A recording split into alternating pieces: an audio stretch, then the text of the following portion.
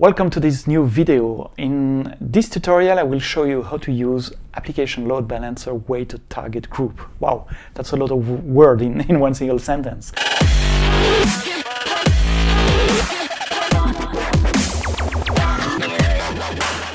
So an application load balancer, you know what it is. It, it, allows to balance loads, receive requests, and dispatch requests amongst a fleet of Amazon EC2 instances, for example, or Lambda function.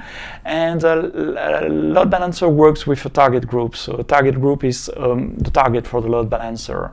Since a few months, you can have multiple target groups, and you can assign different weights to your multiple target groups. Like say, hey, 80% of the traffic goes to that target group, and 20% of the traffic will go to that uh, target group.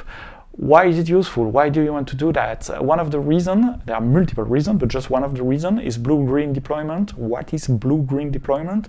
The idea of blue-green deployment is instead of, of deploying a new version of your application on the same infrastructure, on the same Amazon EC2 instance, you deploy a new infrastructure uh, next to the, the production one. And then you progressively swift, uh, switch traffic between the old infrastructure and the new infrastructure. Like 5%, 10%, 20%, and you monitor your, your main KPI, your main metrics, technical and business metrics. And if everything goes well, then you end up uh, sending 100% of the traffic on, on the new infrastructure. If anything goes bad, you can just revert and send 100% of the traffic back again on the old infrastructure so that you have time to fix the new infrastructure and try a deployment again. There are many different ways to do that. Some are using DNS, but now with the new application load balance a weighted target group, you can use that technique uh, to do your uh, blue-green deployment. Let's see how it uh, works. Uh, in November 2019, when we released this new feature, I wrote a blog post that, that shows you how you can implement that inside your infrastructure. And for this demo, I'm going to use uh, the blog post structure and the infrastructure that I create for, for the blog post. So it's a very typical web application infrastructure with two uh, availability zone. I also create two auto-scaling group, both with a couple of Amazon EC2 instances.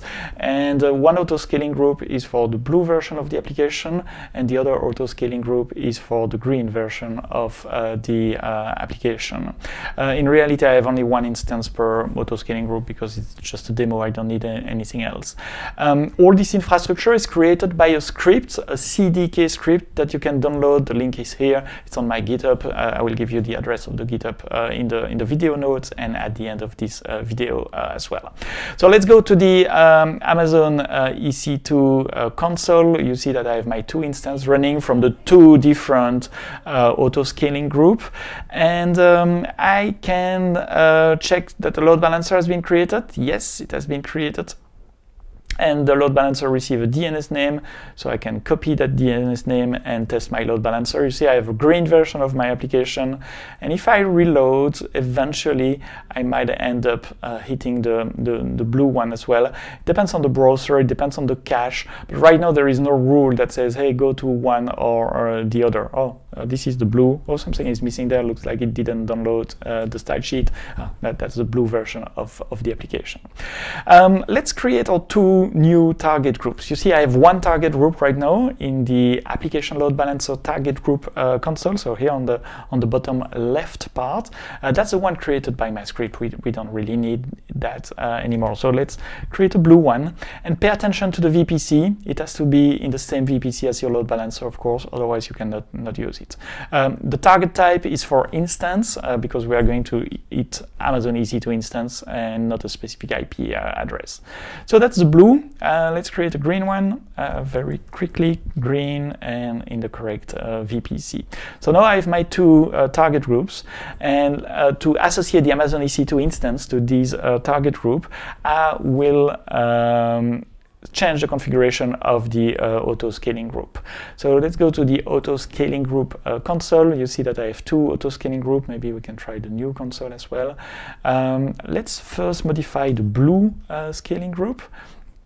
And the blue scaling group has uh, my load balancer and it has uh, the, the target group that has been created by default by the script. Let's remove that one. We are in the blue um, auto scaling group, so let's associate the blue target group. Uh, and then I do the same for the green target group uh, sorry, green auto scaling group to associate the green target group in auto in load balancer. So green here. So by doing so, um, autoscaling will be in charge of actually registering the Amazon EC2 instance to my uh, target group. So if I go back to the target group uh, console here on the left side, um, after a few minutes, very quickly, depends on your health checks, the parameter uh, you have defined. But here in my targets, you see that the, the, blue is already there and the green is not yet there, but it's a matter of minute. If we refresh, it will eventually arrive uh, arrive uh, there. But while, while it's doing that, uh, let's do the last piece of modification uh, we need to do um, to note that we have the two um, um, note that we have the two target groups. Let's configure the load balancer to send a percentage of the traffic to one target group and another percentage to the other target group. And to do that, I'm going to the load balancer uh, console here on the left side I go to the listener and I have one listener listening on HTTP 80. Right now it's forwarding everything to my default target group. I don't want to do that.